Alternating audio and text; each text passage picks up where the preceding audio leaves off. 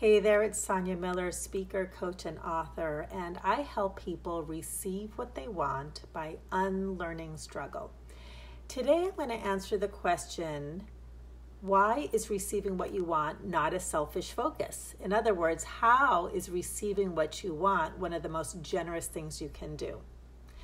Well, the reason is is that when we really learn how to receive what we want, and when I support people in learning how to do that, how to unlearn struggle so that you can receive what you want, I'm actually more interested in the opportunity that you have less about getting the thing you want and more about really learning how to receive. Because the skill sets involved in receiving are actually the most natural skills in the world, but it's becoming almost this forgotten perspective, this forgotten paradigm, this forgotten way of being powerful. Now, this is at the root of all of it. Because it's forgotten, because we don't understand what receiving is about, what it really points to is that we look at receiving as an act of getting. Okay? Now, receiving what you want means that we're focusing on fundamentally a want. What's a want? You cannot want something that you think you have or that you know you have. You cannot want something that you have. So, underneath wanting is a fundamental belief in lack. And so, if you're pursuing receiving from a place of lack, what does that leave you with? It leaves you with this belief that you have to hunt, hunt, hunt, hunt, get, get, get, conquer, conquer, conquer, pursue, pursue, pursue. You're always in consuming mode consume, consume, consume.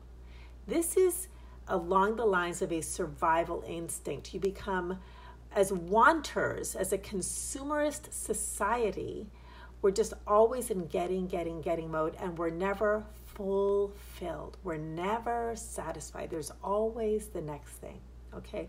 Now, part of that comes from the ego mind perspective. The ego mind is always looking for a problem to solve, it always sees itself as separate from the whole. That's by design, it's part of the spiritual journey. Okay. So that's part of just being human. Okay.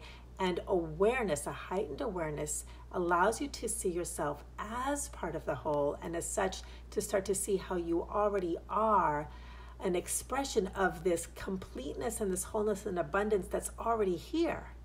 Okay? So if it's already here, why aren't we experiencing it? It's not because we have to get something that's missing, it's because we don't know how to receive it, which is an experience it's a feeling, it's a satisfaction rather than a lacking and a wanting and a hunting and an insatiability. So when we start to wake up from this illusion of lack and receive that which is here, that which has always been here, your wholeness and fulfillment, then we can shift from being a consumer, which is always taking and getting, to being fulfilled and being a contribution to the people in our lives, to our communities, and to the world at large. This is one of the reasons, if not the reason, that I'm so passionate about teaching this. It's about illuminating this illusion, it's about being a contribution. And if in the process of receiving what you want and unlearning struggle, you get the goodies, the whole world benefits too. It's a win win.